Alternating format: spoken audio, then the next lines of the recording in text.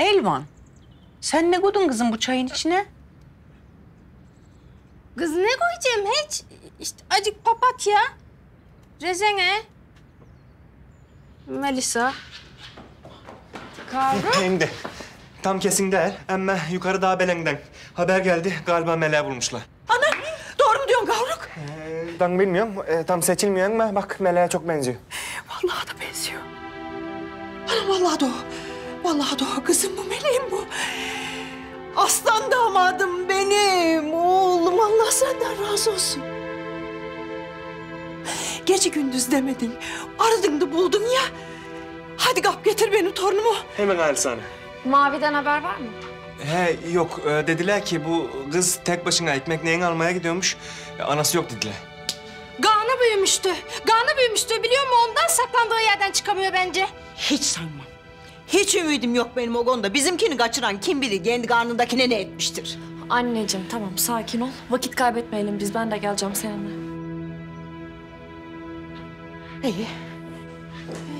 Kocaman Rabbim sen yüzümüzü güldün. Ne olursun. Ne olur bizim eleğimize kavuştur Rabbim. Doğru sen doğru. Ben melehme bir kavuşayım, kızımı bir kavuşayım o mavi kadına neler çemi ben biliyorum. Etimden et koptu, canımdan can çıktı. Benim onun da etinden et koparacaksın, canından can çıkaracaksın. Meleğimin kokusuna hasret kaldığımız günler hepsini tek tek ona yaşatacağım. Hele Sancar'ım mahpusta derdini içine attığı her günün hesabını ödeyecek. Hepsinin hesabını verecek. Ah Sancar'ım. Ah Sancar'ım insana canının yanması değildi, kandırılmak gor. Benim oğlum bundan sonra kime inanacak, kime güvenecek ha? Kime inanacak? Sancar'ım. Ana sen şunda soğutma da açık kalmış onu içine.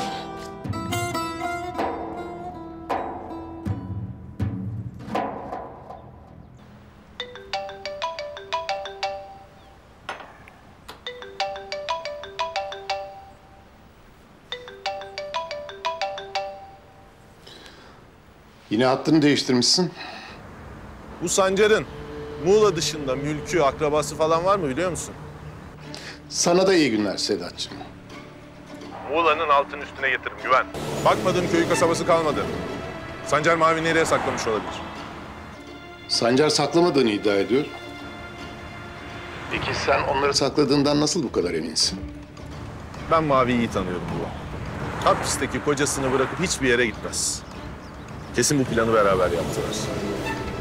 Şimdi soruma cevap ver. Sancar'ın bildiğim kadarıyla başka bir yerde akrabası falan yok. Hem öyle bile olsa onları bizim tahmin edebileceğimiz bir yerde saklar mıydı sence? Güvende olduklarından emin olmak zorunda. Bilmediği yere asla saklayamaz. Şimdi düşün. Mutlaka atladığımız bir şey var mı? Biraz sabırlı ol lütfen. Bu işleri bana bırak. Unutma polis her yerde seni arıyor. yer yarılır. içine de girseler ikisini de bulacağım. Öyle olayın üstünden vakit geçti. Soğumuştur. Vazgeçmiştir diyen olursa avucunda ver. Sedat. Alo.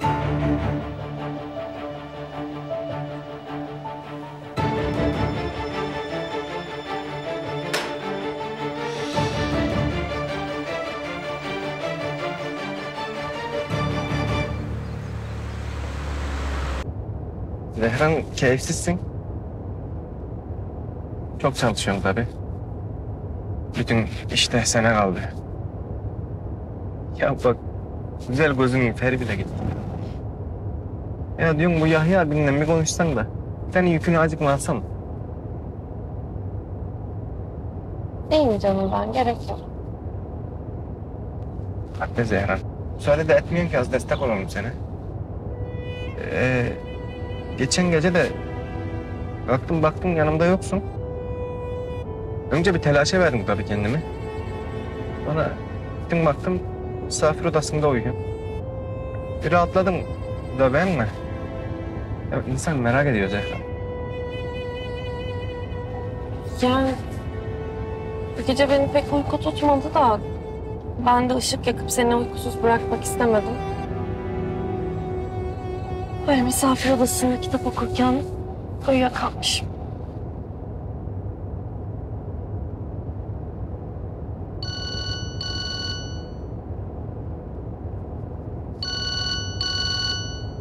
Cezaevinin numarası.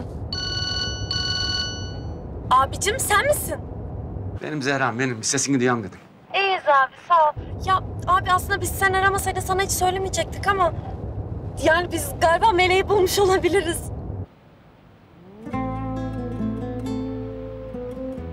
Nasıl? E, efendim, ya bir tane fotoğraf geldi. Vallahi bu sefer hissediyorum. Bence bulduk kızını. Sen ne diyorsun Gavruk? Kim görmüş? Nerede görmüş? Ya efendim, bizim yukarıda haberen yok mu? Ha, bizim oradaki kızanların Hamdi'nin oğlu görüyor. Tam da bilemiyor o mu değil mi diye fotoğraf çekmiş, göndermiş. Ya efendim biz vardık varacağız az kaldı.